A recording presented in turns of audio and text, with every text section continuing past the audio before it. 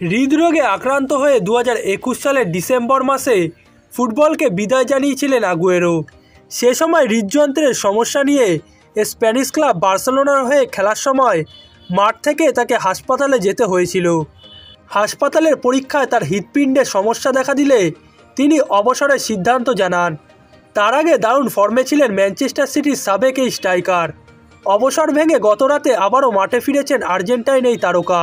তবে জাতীয় দল কিংবা পেশাদারি কোনো দলের হয়ে নয়। স্পেন ও বার্সেলোনার সাবেক তারকা জেরাট পিকে কিংস লিগ নামে একটি নতুন ফ্রাঞ্চাইজি ফুটবল টুর্নামেন্ট চালু করেছেন, যেখানে পেশাদার ফুটবল থেকে অবসর নেওয়া ফুটবলার ও ইন্টারনেট ব্যক্তিত্বদের নিয়ে গড়া এক একটি দলে সাতজন করে খেলতে পারবেন।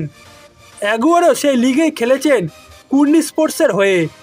এদিন পরসিনোস এফসির বিপক্ষে ম্যাচের ছত্রিশ মিনিটে গোলের দেখা পায় ম্যান সিটি কাঁপানো অ্যাগুয়েরো। এর আগে দুই এক গোলে পিছিয়ে ছিল তার দল কুর্নি স্পোর্টস।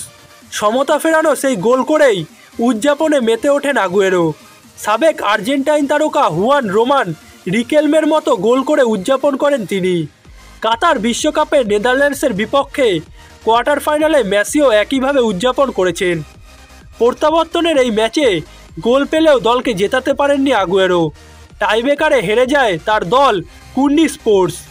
আগুয়েরো স্পটকিক পোস্টে লেগে ফিরে আসলে হতাশ হতে হয় তাকে। এদিকে আগামী আঠাশে জানুয়ারি ইকুয়েডরের ক্লাব বার্সেলোনা স্পোর্টিংয়ের হয়ে প্রীতি ম্যাচে নামবেন আগুয়েরো। দলটিতে তিনি খেলবেন অতিথি খেলোয়াড় হিসেবে।